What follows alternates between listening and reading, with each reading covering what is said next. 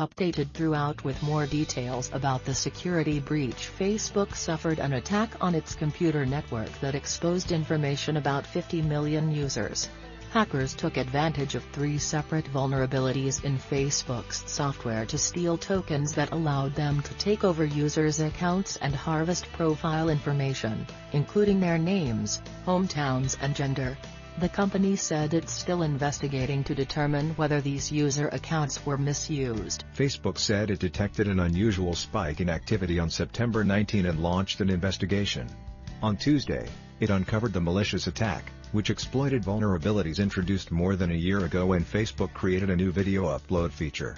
The company patched the bugs on Thursday and issued fresh digital access keys to the 50 million users whose accounts had been accessed. The reality here is we face constant attacks from people who want to take over accounts and steal information, said Facebook CEO Mark Zuckerberg, telling reporters that the company continues to invest heavily in security.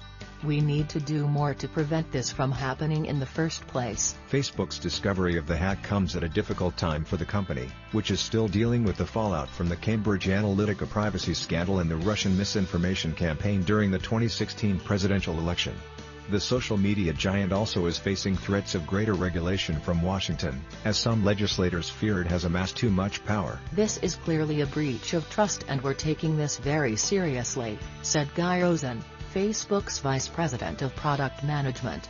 We're working with regulators to let them know what happened. Facebook says its investigation is still in the early stages and it still doesn't know the identity of the attackers, who exploited a feature in Facebook's code that allowed them to steal access to users' accounts. Rosen described the cyber attack as a sophisticated one that took advantage of a combination of previously unknown vulnerabilities that appeared within Facebook's view as tool, which allows users to see how their profiles appear to other people. The bug was compounded by a flaw in one of Facebook's video upload programs, which let attackers steal the access tokens, or digital keys to unlock access to a user's account. We did see this attack used at a large scale, said Rosen. That's how we discovered this and we started investigating and found the vulnerability.